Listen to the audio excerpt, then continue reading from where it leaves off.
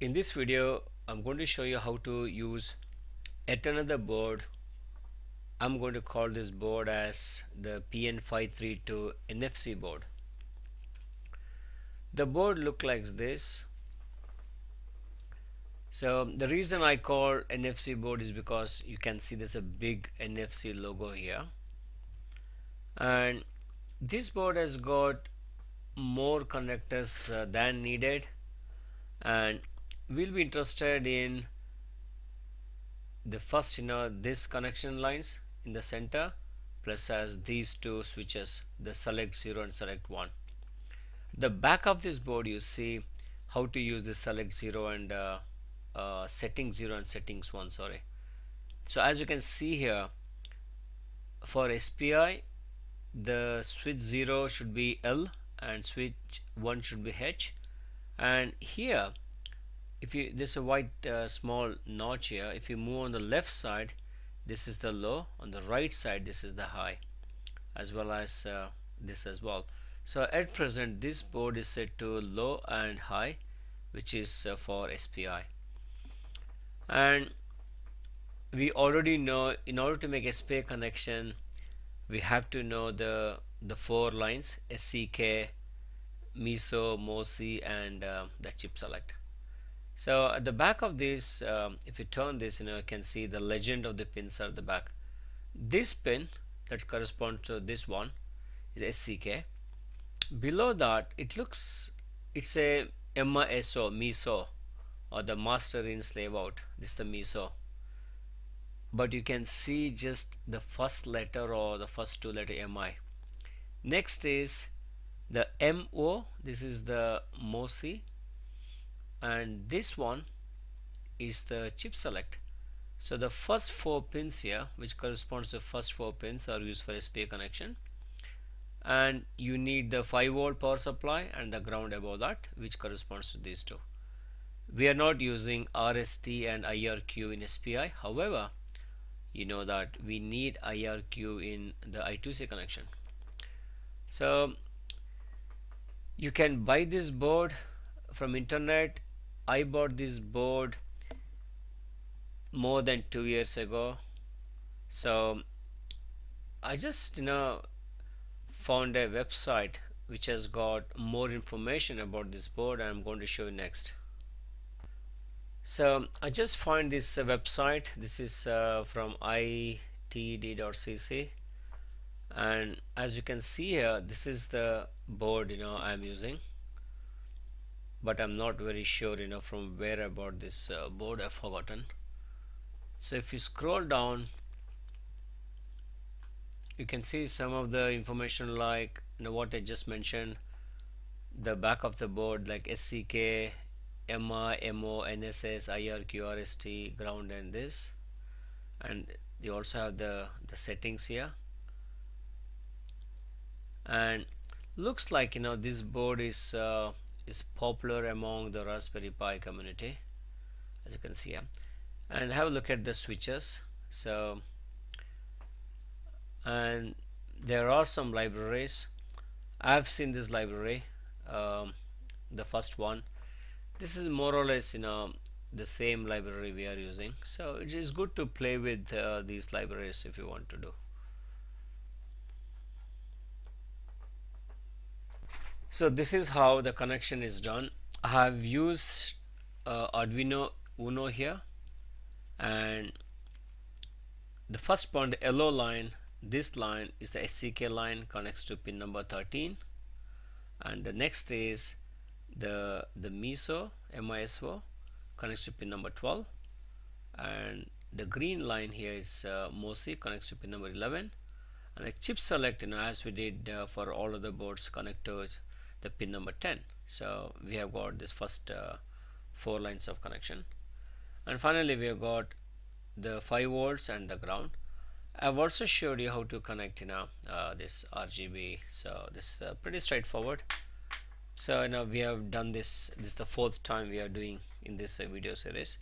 So it's a very simple uh, connection. And also keep in mind the switches are here.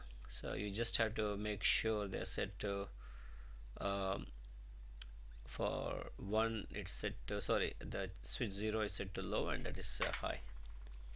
So next I'm going to uh, take you to the Arduino IDE and uh, run our sample program. So we have I made the connection as you can see in the video. And as we did before the chip select is pin number 10 and I don't need this line. I need this where um, it creates you know the instances of this object. So I'm going to before that make sure you have got the right board. I'm using Uno and it's connected to COM4 I'm going to compile. And I'm going to upload.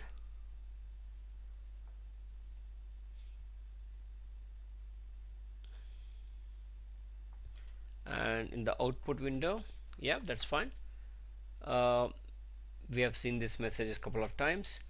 I'm just going to go through all these uh, cards we have been doing before. So this is uh, classic 1k I got a classic 4k uh, got this uh, ultralight. That's fine. I got this ultralight C. Be careful. Ultralight C. Oh that's not a good thing. Ultralight C oh yeah sorry it works. Ultralight C works. Now as you just saw here ultralight somehow you have to be just you know you have to keep moving the position and see where exactly it's get detected. So or you can let's try this again. Oh that's it. Looks like you know you have to test the board here. Okay let's try the other one. Ultralight C yep this is fine. Try the NTAG 203 that's good. I got NTAG uh, 213 that's good. I got uh, 216 that's fine.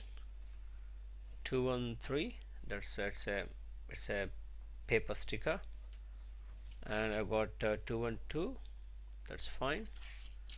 And try the key fob that's good as well plus finally let's see if DESFire works.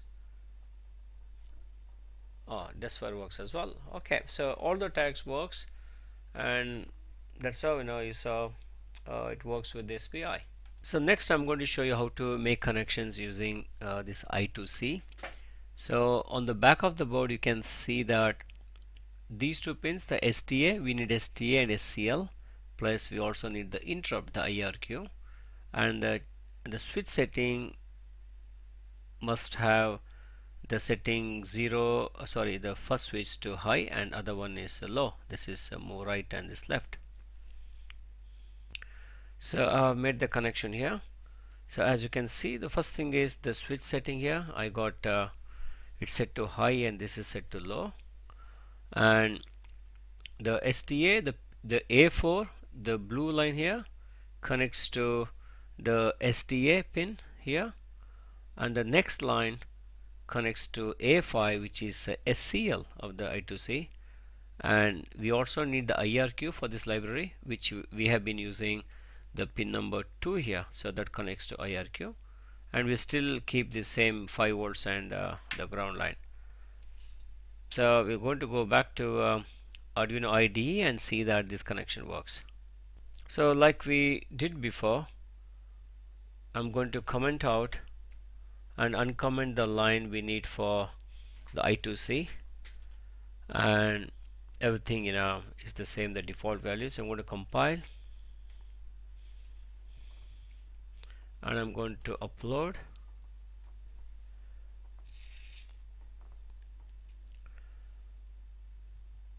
And run. Yeah uh, you can see that the message shows uh, the firmware version so that indicates uh, it's working alright just give a try with the few tags. I don't want to try everything again. Let's uh, more interested in trying the ultralight uh, ultralight C. Yeah okay it works. So we just saw that it works with the I2C connection as well